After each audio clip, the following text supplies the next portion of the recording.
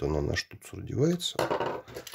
А сюда ее, как мы видим, как мы видим, оно одинакового диаметра. То есть и так, и так ее не вставишь сюда. Вот. Это как-то глупо и не продумано. То есть заглушку надо было сделать чуть поменьше и глушить именно поилку.